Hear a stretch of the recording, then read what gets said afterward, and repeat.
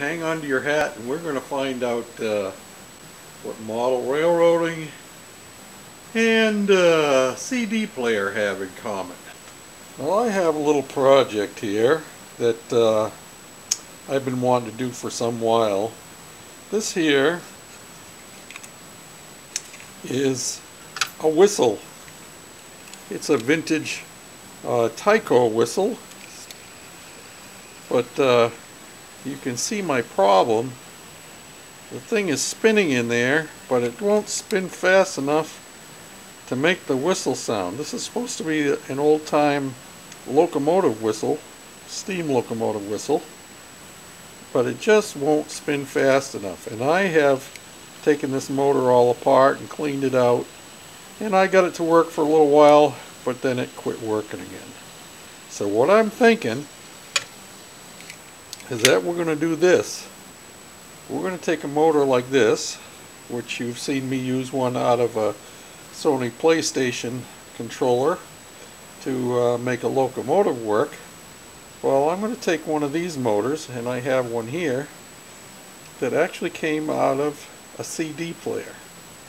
And I'm thinking that maybe, just maybe, I can mount this puppy right down in here. What do you think? And this thing will definitely spin up fast enough to make that whistle play. So hold on to your hats and uh, don't let anybody near your CD players while you're not looking. I'm going to try and see if uh, I can do this with you looking over my shoulder. And uh, see if I can get this all taken apart here. And the first thing I want to do is uh, take these two screws out here. Well, or these two here. I guess it doesn't much matter. I need to get this here off of there. I'm not worried about saving this motor.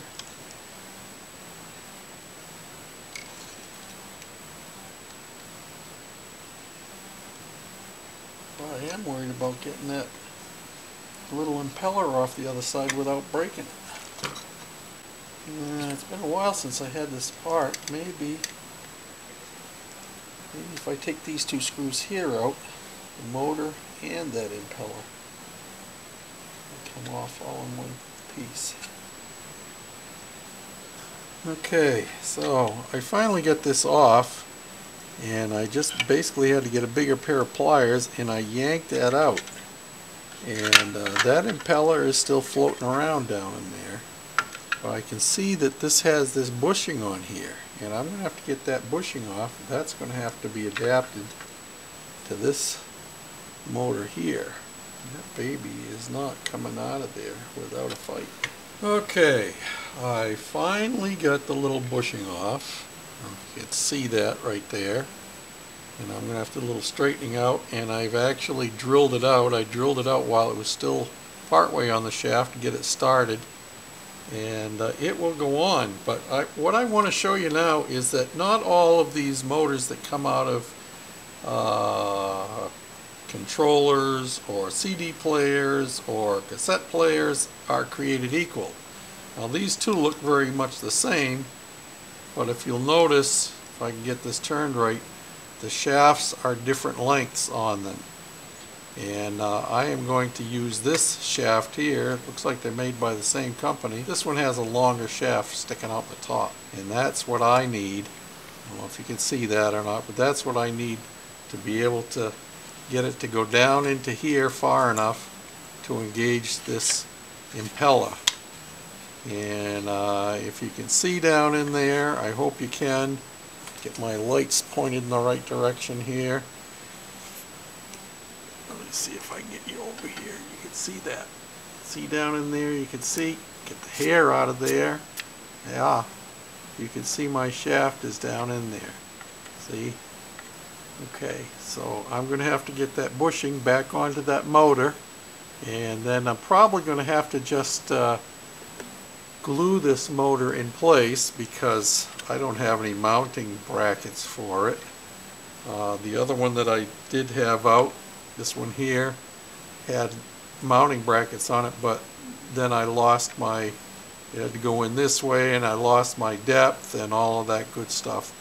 So I think what I'm going to do, put these out of the way, and uh, don't throw away your old CD players and Sony PlayStation controllers and stuff. Save those motors. They come in handy for all kinds of goodies.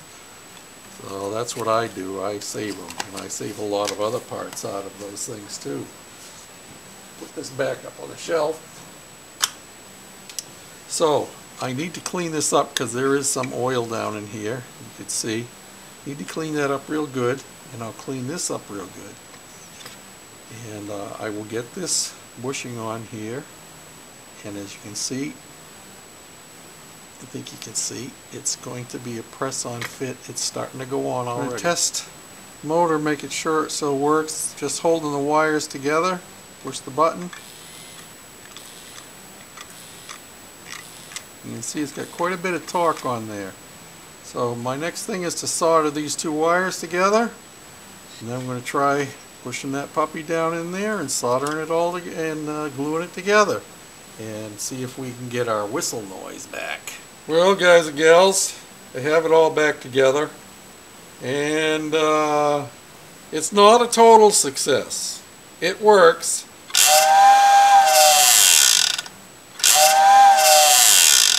but I got something hitting inside.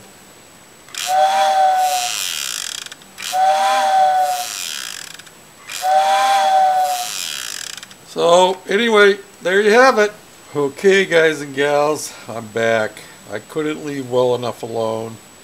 I had to get this thing working right, so I kept at it. And I finally think I have it down now. Let's take a listen.